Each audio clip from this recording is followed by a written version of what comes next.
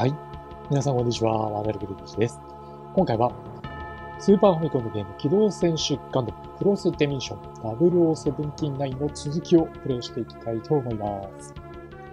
で、今回はですね、第2部、外伝編の第2話になります。では早速ストーリーから見ていきましょう。前回、まあ、襲撃をした基地に対して乗っ取りましょうっていう会話が進んでいます。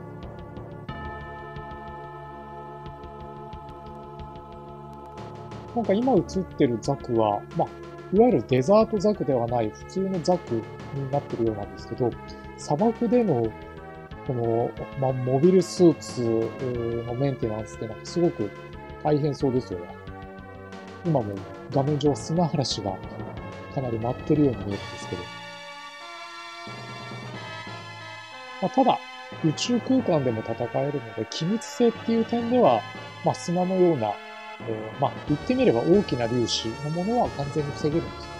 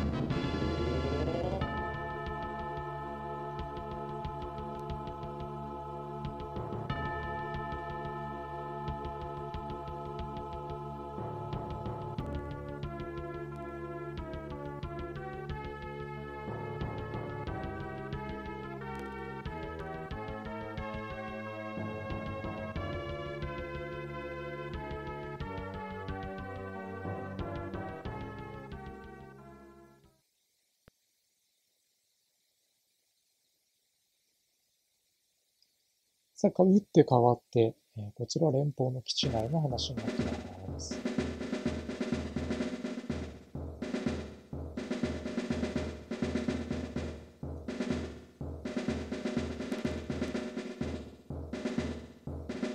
では、カマセイムを撃破しに行きましょうか。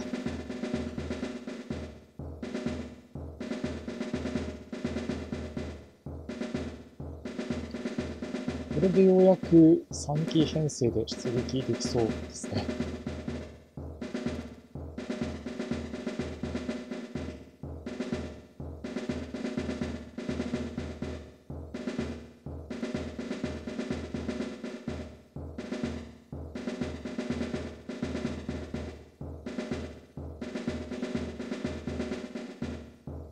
上官の命令を無視して装備の確認、出撃という流れになっています。ではちょっとピクシーから見ていきましょう。えバルカンとビームダガーにサブマシンガンなので、ここはやっぱり格闘戦に備えて、エネルギーパックを多めに持っていきたいかなと思います。こんな編成でいきましょう。えダブルアタックとノーザンライトアタック。これが使えるようですね。これをちょっとじゃあ覚えつつというところになろうかなと思います。では、えー、ガンキャノンの方もですね、同じく残弾の設定をしておきたいと思います。まあ、ここはやっぱりマシンガンを多めに持っていかざるを得ないので、エネルギーパックに、えー、マガジンですね。えー、こちらを4つとという編成でいきます。こちらも同じですね。マガジン4でエネルギーパック2でいきます。では、これで出撃です。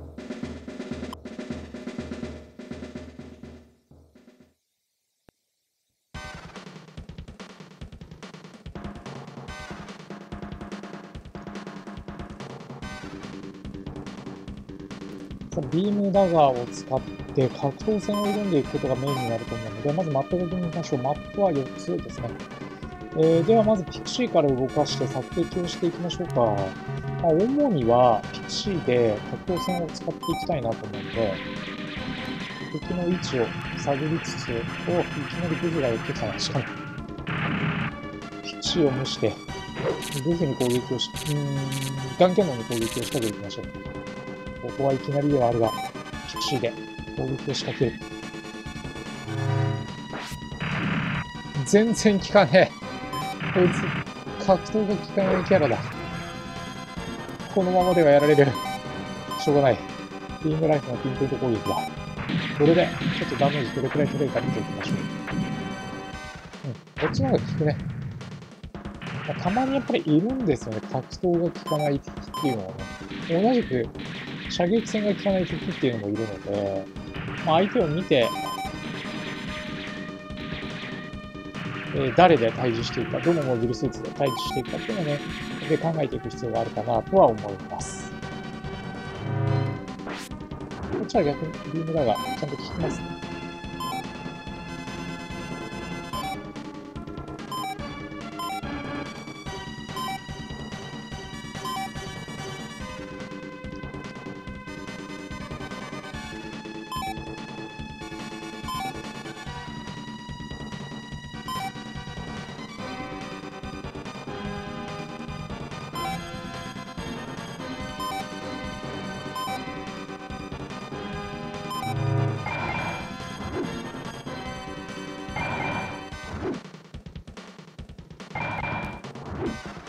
とこのダブルアタックがうまく決まらないので、なんか、なんとかアタックの方に切り替えてるんです。これも、ああ、やっとコマンド入った。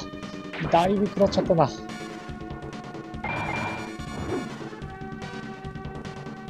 結構ね、コマンド入力がシビアなんですよね。まあ、単純に下手すぎるだろうっていうのはあるんですけど。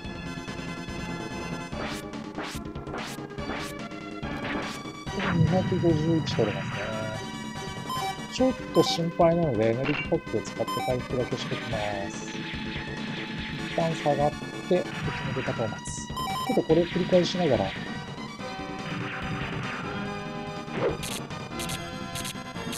必殺技の経験を貯めておきましょう。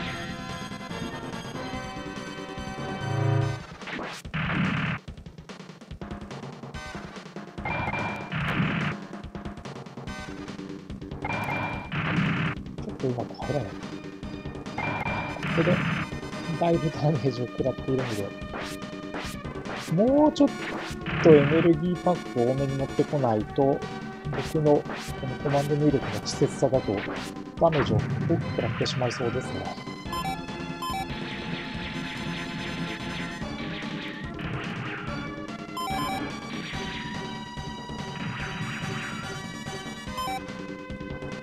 エネルギーポックがもうちょっとあれば、えー、突っ込んでいけたと思うんで、ちょっと次戦の時はエネルギーパックもうちょっと多めに持っていきましょう。一応上倒した。で、こいつはザクバズーカー見てきましょ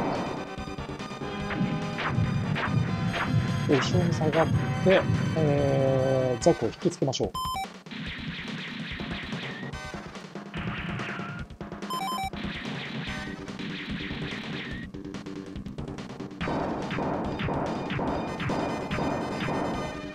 まあ、ピクシーに関して言うと、まあ、格闘戦で、えー、ダメージを取っていくことのが多くなりそうなので、エネルギーポイントをもうちょっと多めに持っていった方がいいかもしれないですね。では、ピクシーで無双していきます。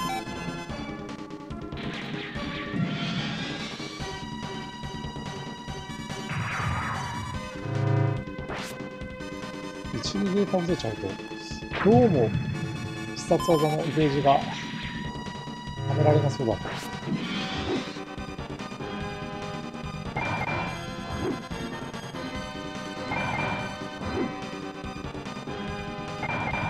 ちゃんと入らない。入らないぞ。ようやく入って250。うん、強い。250当てて、その前に180当てて、で、これでさらに250で撃破か。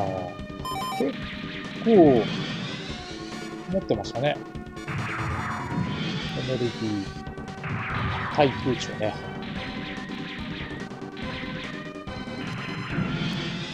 お、寄ってくるな。ザックが来る。またちょっとエネルギーパックを保有して、ここにいるグフを打ち取りましょう。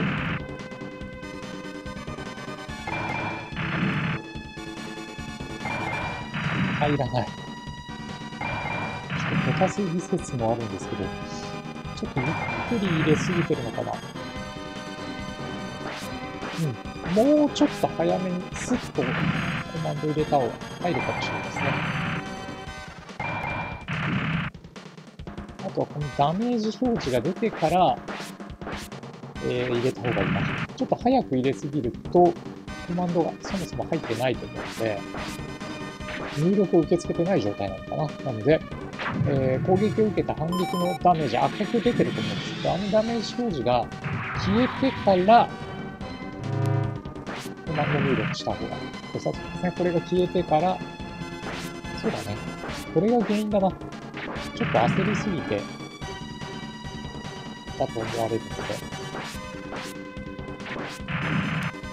この61食らったよっていうのが消えてからコマンドを打った方がちゃんと入力ができてることがよろしいですね。結構かわしてくるな。これもかわされてるよね。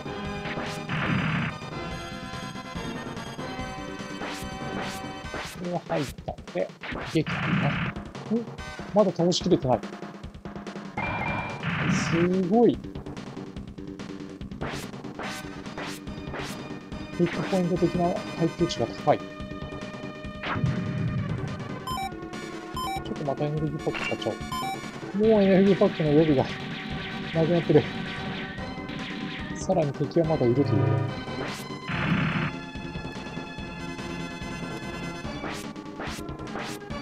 なかなか、序盤で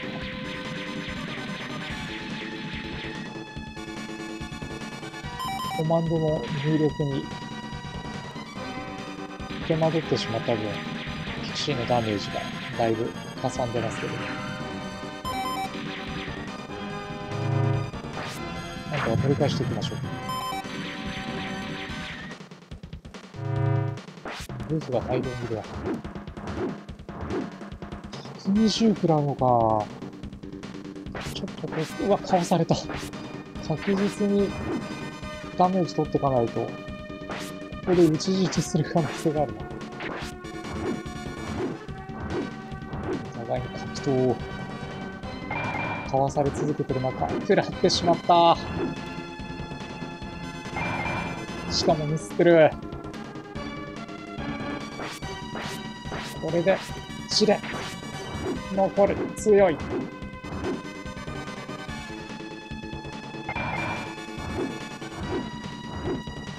慎重にコマンドを入れていきましょう。まだ残るのか。やるな。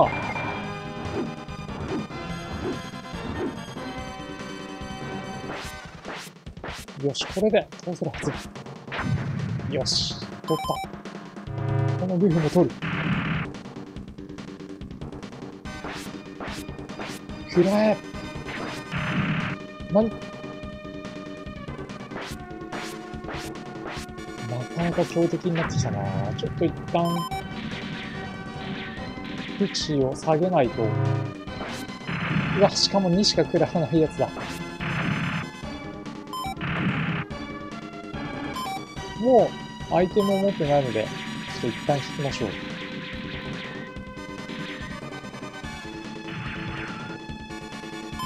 ガンキャノンに変える。あガンキャノンもね、レベリングある程度してあるんで、まあ、戦えるかなと思います。ただ、ここは、復讐狙いだ。ただ、その、突っ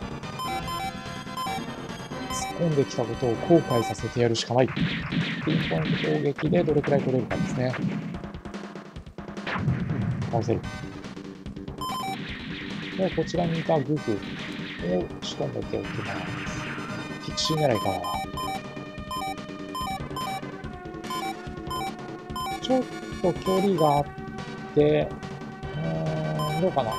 ビームライフルのピンポイント攻撃が届く。これでじゃあ取れそうかな。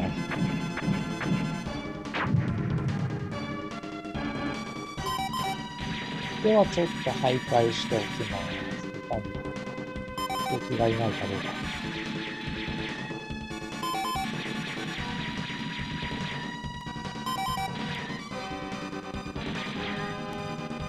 まで出てる敵は。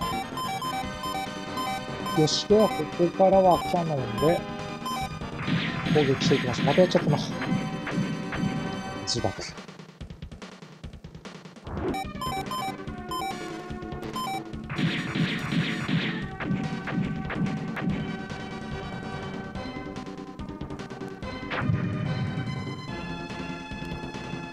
はい。これで前期倒したかな。